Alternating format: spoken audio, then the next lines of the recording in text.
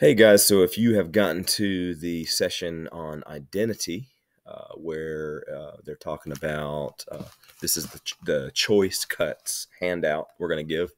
What I want you to do for this is read uh, Jared, Perla, and Taylor. Uh, just read their uh, statements there, their quotes from the video.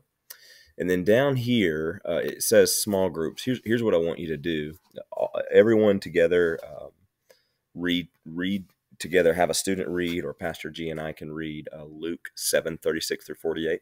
Let's have a student read that. We need a student who's willing to read to the whole class Luke 7 36 through 48.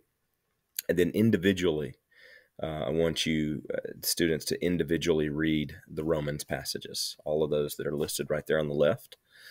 And then I want fr- from those verses or another verse that you would choose I want you to create a character. It's it's a mini drama kind of thing. We're going to talk about it. We're not going to make you get up in front of class and dramatize it or, or you know do an improv or anything like that.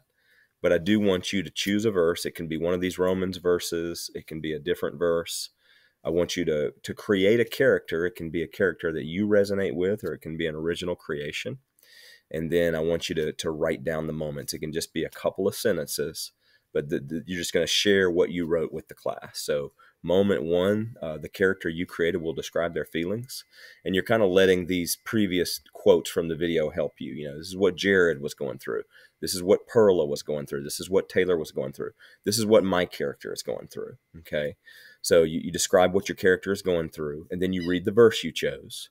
Uh, and then you, explain the verse in, in the way that if you were talking to your character, you would explain it to your character. Okay.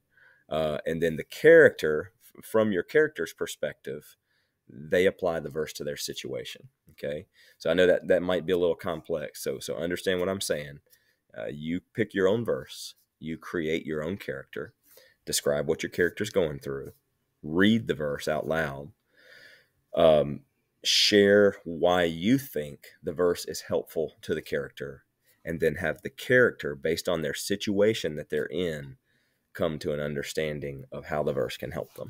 Okay? I hope that makes sense to you guys. Uh, just you know have fun with this and be creative. And uh, yeah there you go